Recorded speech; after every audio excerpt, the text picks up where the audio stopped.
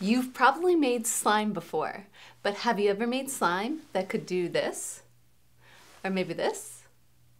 Or even this? Join me, will you, while we make a little self-siphoning slime. The very first thing we need to make our slime is acetone. In other words, nail polish remover.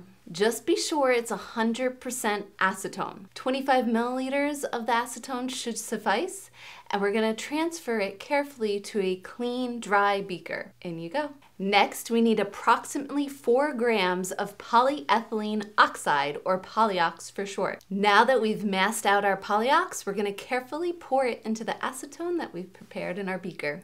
Once the polyox is in there, we're gonna give it a very gentle swirl. This is very important. We wanna make sure each individual particle of that powder is coated in the acetone. This is gonna help us avoid any lumps or clumps later on in our slime. In a second beaker, we need 400 milliliters of H2O. Tap water will work just fine for this experiment. And to make it a little more interesting, you can add food coloring or watercolor paint. I'm gonna use purple. A drop or two will do. We're ready to add our colorful water to the beaker that contains our polyox and acetone. It's very important though that this is done in one foul swoop, just like so. Once all the water's in, give it a good mix. We're gonna be sure we continue to mix until we've achieved that classic oozy slime consistency. To ensure that our slime is ready to self-siphon, we're gonna pour it back and forth between our two beakers a bunch of times. The time has come to self-siphon. Here we go. We're gonna tilt the beaker ever so slightly so we start to pour that slime. What you'll notice though is it'll start to speed up all on its own as the slime pulls itself out. Getting self-siphoning slime to pour on its own is a skill that requires a bit of patience. So when you start to pour the slime into the empty beaker, do so slowly.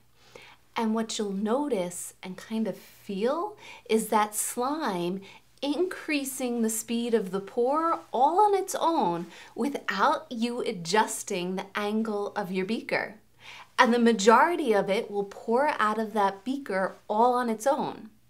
You may have to adjust the angle of that beaker a little bit at the end to get the rest of it to come out. But the slime should be doing the majority of the work. And once you get the hang of it, you can go back and forth between the two beakers as many times as you'd like. Why in the world does this happen, you may be wondering? Well, it has to do with the polyethylene oxide which happens to be a polymer. Now polymers, they're gigunda molecules. Case in point, polyox has a molecular weight of 4 million, give or take. While water, it just has a molecular weight of 18 grams, and carbon dioxide, CO2, 44 grams. You see the difference? How big we're talking here? Now the catch is, any polymer is made up of teeny tiny molecules connected together. Those teeny tiny molecules are what's known as a monomer. And the monomer in our particular polymer happens to have an ether functional group embedded in it. Ethers, they can't undergo what's called hydrogen bonding with other ethers. However, they can create hydrogen bonds when they interact with water. So when we poured that water into our beaker in one foul swoop earlier, a whole plethora of hydrogen bonds wound up forming between our water molecules and our molecules of polyethylene oxide. This allowed for a process called cross-linking to occur.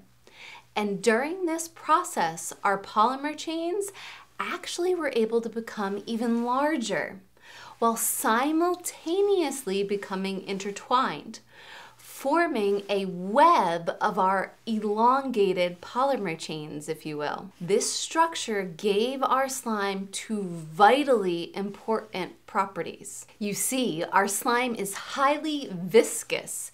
In other words, it resists the urge to flow, just like molasses. This is due to those very strong hydrogen bonds causing the molecules in our slime to want to stick to themselves. So initially, we do have to start pouring our slime because it's going to resist the urge to freely move from that beaker. But once we get it going, elasticity takes over. You see, our slime also has the ability to stretch and snap back together. This is due to the hydrogen bonds that cause the intertwining of our large polymer molecules. It will allow that slime to stretch out of that full beaker and then start to pull the rest of those molecules down into the empty beaker along with it. If you're curious what this looks like at a molecular level, all you need is a strand of beads. You simply get them started and they will have the same self-siphoning action as our slime.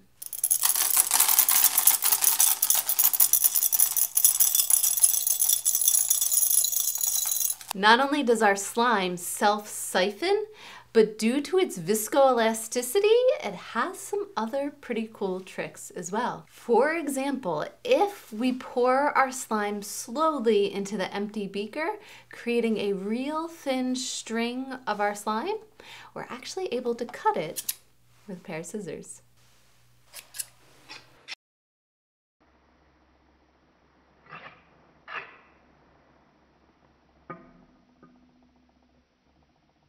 Or we could give it a good mix.